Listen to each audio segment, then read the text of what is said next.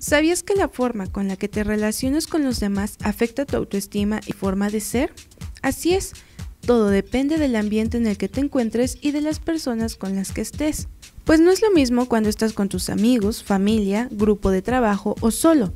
Lo importante al momento de estar con otras personas es siempre ser uno mismo, mantener nuestra forma de ser, de pensar y nuestros principios.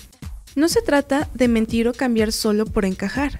Además, para que esto funcione, esas otras personas deberían aceptarnos y respetar lo que somos.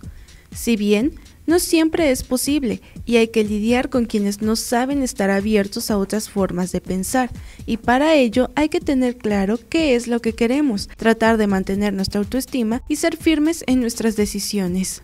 Asimismo, de tu parte también debe existir ese respeto, pues es más fácil victimizarnos y no ver nuestros errores. El reto es mantener una convivencia recíproca. Lo que deberíamos hacer primero es mantener una actitud positiva y abierta. La relación con los demás debería ser agradable y beneficiosa. No se debe tener miedo al rechazo, pues no siempre encontraremos personas que acepten lo que pensemos o estén de acuerdo con nosotros.